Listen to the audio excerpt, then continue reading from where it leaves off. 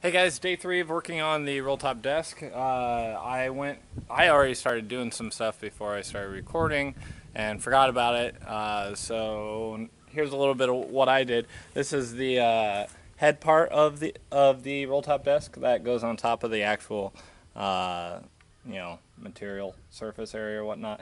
And the, there's some uh, splintering in the veneer.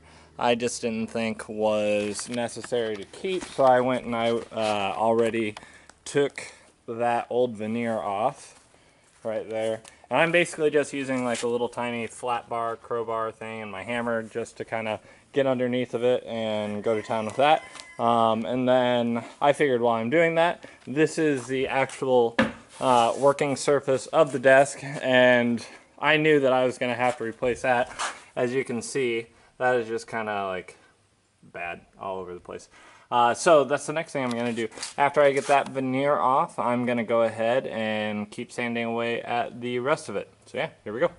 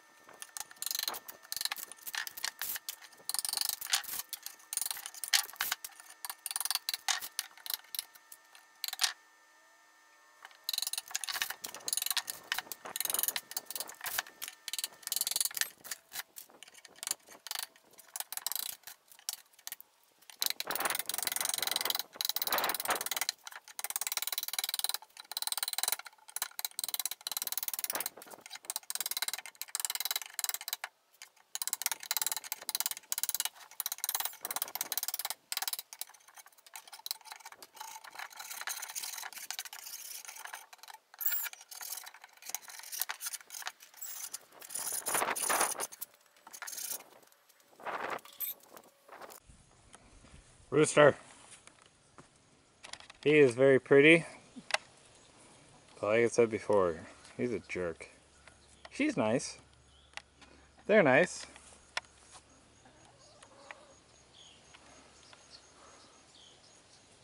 He's a jerk.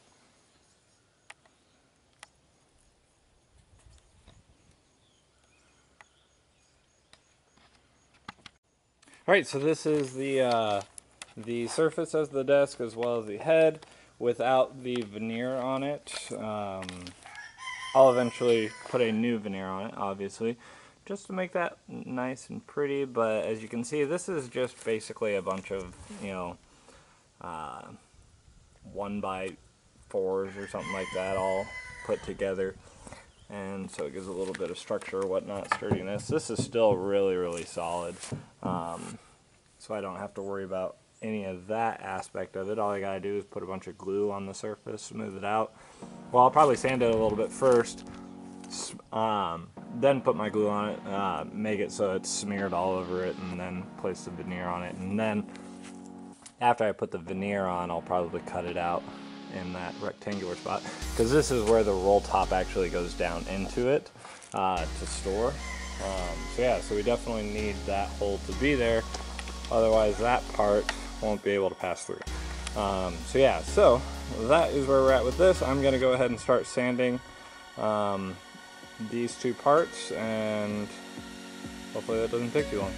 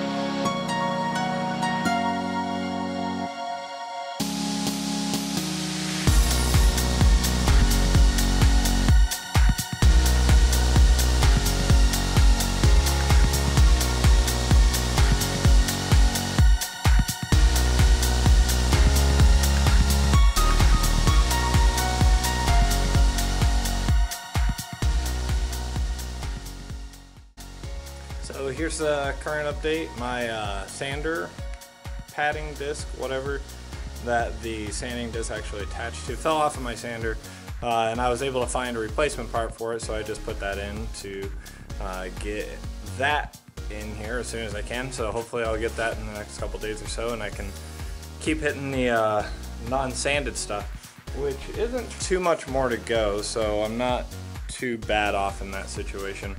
Um, and uh, but this is where what I got accomplished. I was able to get most of the headpiece sanded up. I gotta hit those corners up still, um, and I can do that with the square sander. And then I haven't really done anything to the work surface part of it, um, the actual desk uh, flat top, and so I still got uh, all of that to do still.